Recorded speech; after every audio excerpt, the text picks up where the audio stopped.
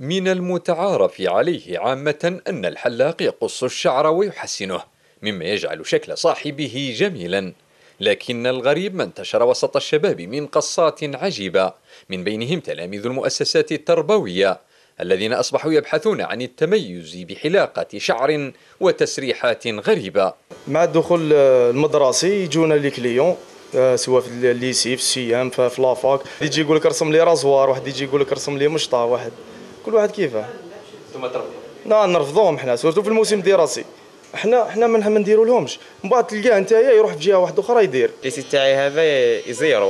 ما يخليكش تدخل مغوفل بالزيكا ومنها يقول لك نقص بالحد بالحد. لو كان جينا كان مغوفل ما تدخلش. لم تعد قصات الشعر العادية أنيقة بالنسبة للكثير من التلاميذ.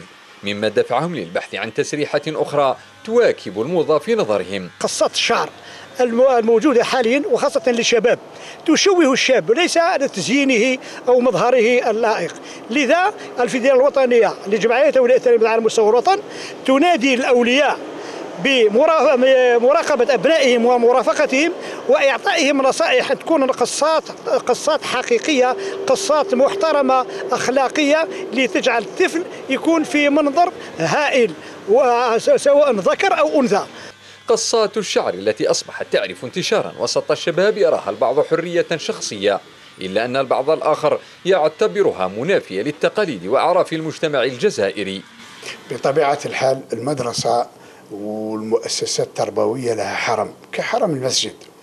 آه، يدخلها الناس في صورة محترمة من أجل نيل العلم ومن أجل طلب العلم ومن أجل التربية ومن أجل تكوين الشخصية ومن أجل التكون ليكون إطارا فاعلا في هذه الأمة غدا إن شاء الله.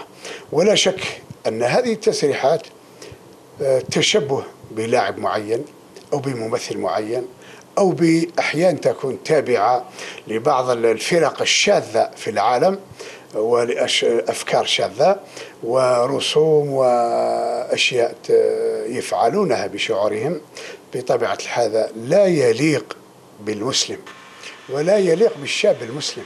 قصات الشعر الغريبة ظاهرة باتت تعرف انتشارا واسعا وسط الأطفال غير أن دخولها إلى الوسط المدرسي يستوجب ضبطا أو حتى توحيد شكلها. بطريقة ما.